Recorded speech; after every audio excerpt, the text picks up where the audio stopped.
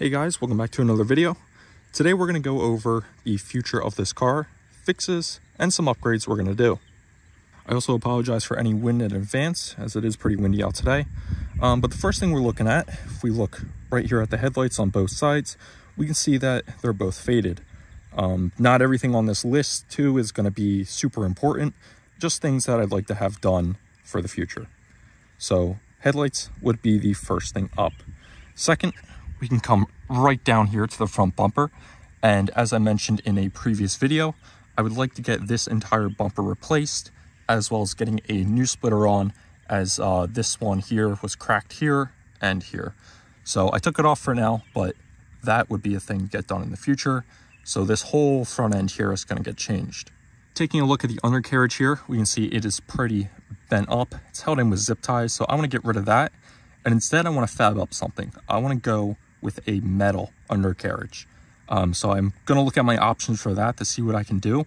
Uh, but I would love to see a metal one underneath here. Now, we could take a look at the engine, but I think we're going to save that for a little bit later. Instead, we're going to come over here to the driver's side and we're going to come right down here to the tire. Now, when it was at the Mazda dealership, we got all four tires done as well as an alignment, so we're looking good there. Uh, for the brakes, we're looking at 530 seconds up front, and I think it was like 430 seconds, 330 seconds in the back. So they still got some life left in them. Um, the only main problem up here is that our brake rotors are shifting because they're a bit warped. Uh, so I'd love to actually get them done. Um, it's not on the highest priority, but it would be a cool thing to actually get done and get fixed. Uh, I forgot to mention up here as well, our fog light for our driver's side is out. So that is another thing that we have to get done. Now on the door here, we can see we have a little ding here. Um, we have another here, but I'm not really worried about these two. What I am worried about is down here. Now down here, you can see all along here is pretty pushed in. Um, I don't know how it happened. Uh, the previous owner also doesn't know how it happened. So I'm not too sure. But uh, when it's at the body shop dealing with the rust, I'd eventually want to get this pulled out because I do want to put R3 skirts on both sides. I'd love to get them in a black color. So if we can get those pulled out so we can put those R3 skirts on there, that would be ideal. We actually have a decent bit of rust going on down here. Uh, now, when it was in the Mazda dealership, I was able to take a look at it.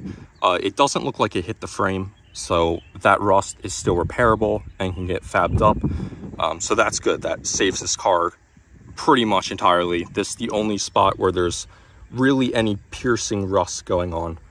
Um, a lot of it in the back I've seen is surface, so it's not as bad as of right now, although I'd love to get it replaced at some point.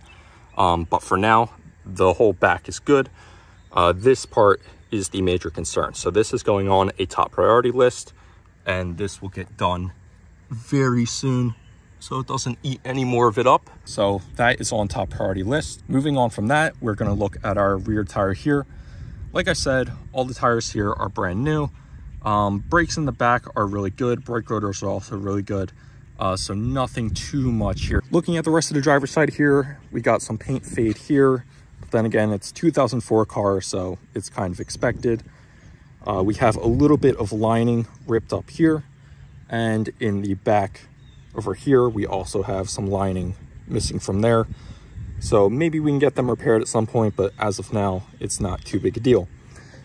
Now, if we move on back here, this is the only other place that really has rust on it, uh, which is right underneath the spoiler here and on the other side right under there. Um, and the reason for this is because when it rains, water drops down and it goes right into this crevice. And so underneath here, uh, there's a bit of paint bubbling, but it's nothing too important right now, but it's definitely something to keep an eye on. As far as the taillights goes, I got the gaskets replaced on both sides because um, when I bought this car, there was water sitting in it. Um, but since I got those taillights replaced, we no longer see that, so we're fixed up on that.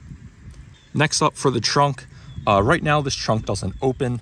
Um, the little plastic piece inside of here that holds the metal rod uh, that goes to there is broken. I do have a 3D printer, so maybe I can print the plastic piece inside of here and get it done.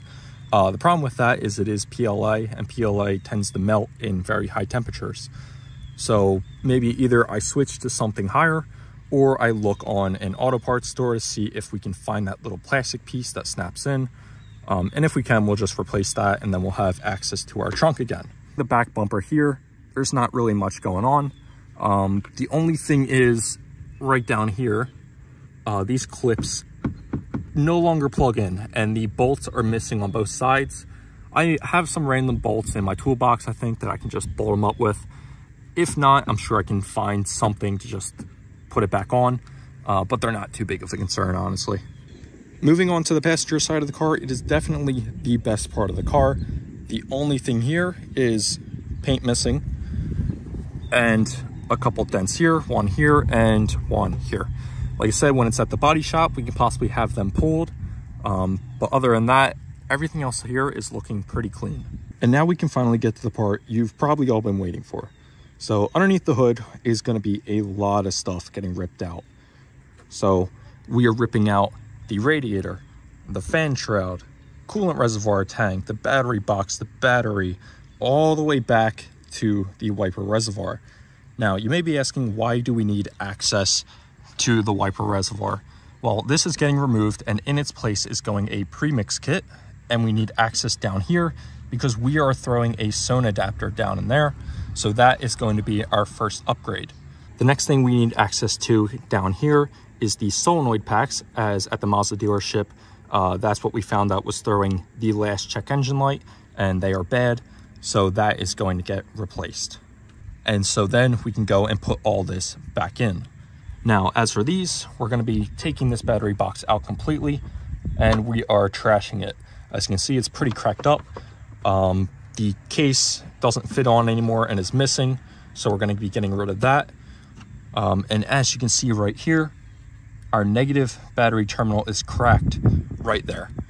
So sometimes you go inside the car and you go to turn it on and you hear a click. And then you try it again and you hear a click. And then come back up here, you jiggle it a little bit you go back inside the car and you hear a click. Come back up here again, you jiggle it a little bit more and finally it'll turn over. So to avoid dealing with that anymore, I want to get that fixed and get that out of there. Now, as far as the coolant reservoir tank goes, we are also getting this one out of here. And the reason being, uh, three major problems. One, this one's prone to cracking. Two, the sensor goes bad. Three, we have this hose here, which normally faces down here.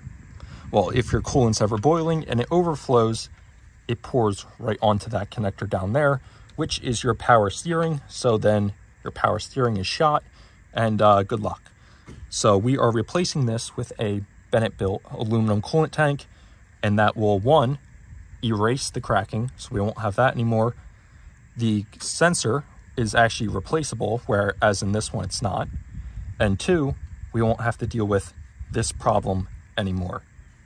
The next thing we're going to be working with is the radiator and fan shroud. We're taking these out. Why? Because we're getting in a Mishimoto radiator and fan kit. Now, I have it sitting up in the garage. I still have to wire it together, but other than that, that's going to be sitting right here in its place, and these will be gone. The final issue we have to worry about here is this aftermarket intake. If you watched the previous video, you would know that this is broken. So we are getting that redone. I'm not sure which one I'm going to go with yet, but instead of it stopping here, I definitely want to get one that comes all the way up here into the front bumper. So if you have any suggestions, let me know down in the comments below. I'd love to hear them. So other than that, that's everything we're going to be taking care of. All this here is going to be brand new and ripped out. The only other thing I did when I first got the car is I replaced these two relays here as when I got home, they blew out, because of course they did. So got them replaced. Uh, these were not cheap, I can tell you that much. As well as I replaced all the fuses in here, just so we're safe for the future. So now that we're done everything underneath the hood and on the exterior, we can come in here to the interior. Now, there's nothing too much that needs to be done. The only real stuff is the radio and getting this fixed. Uh, like I said before in the previous video, we're probably going aftermarket so we're going to get rid of this whole thing and get this all redone. And then that way we can have our defroster back. We may have sound back. If not, then we got to look at the stereos. Hopefully it's just this as the issue. Other than that, everything else is actually really good in here. We do have a crack dash over there, but so does any other one, honestly. Um, there were leather seats in here before that I ended up replacing. As you can see, we used to have our heated seats here, so we no longer have that, but we do have more comfortable seating. I like this seating a lot more as you don't slide around as much, so for me, it's the better option. The other thing I replaced is the door cards. These were also leather as well as in the back there. So that is all redone as well as over here. Other than that, everything else in this car is looking really good. Uh, the steering wheel, I would love to get done at some point to get this paint fade out of here. Um, but for now, it's a perfectly working steering wheel. I'm not going to bother with it. You can see the Mishimoto radiator and fan kit sitting right there, as well as some new hoses sitting there. But you may also spot this right here. So when the clutch eventually blows, or when I blow it up, we have a brand new clutch kit sitting here. And then in one of these boxes, either this one or that one, uh, we have brand new motor mounts as well for when uh, for when the, uh, the, the motor eventually implodes on itself. Um, but I don't think it hurt me. But uh, we have brand new motor mounts from Black Halo Racing, and they will be going in. Um, either I'm going to do that myself, or when the inevitable happens, uh, we'll be replacing them, and that'll get done. The other upgrades we have on the car are a brand new starter, or remanufactured starter. We also have a MagnaFlow catalytic converter sitting on there, and we have a reinforced clutch pedal sitting on there. I'm not sure if it's this one. This is the stock one here. I don't think it's this one. It might be on the other one for the parts car. But um, there's a joint, this joint here, here-ish somewhere, um, right there likes to snap. So with the reinforced one, what they did was they went in and they actually weld right up there to keep this from snapping. Other than that, that should be everything done on the car for now.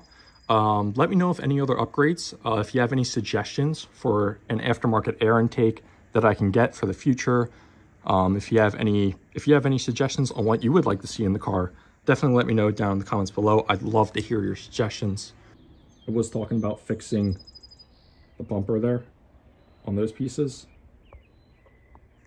Well, I have just a little bit of a little bit of bolts, so which is actually not a lot. When I used to work for Mazda, uh, a couple of senior techs there had buckets of just random bolts sitting in there.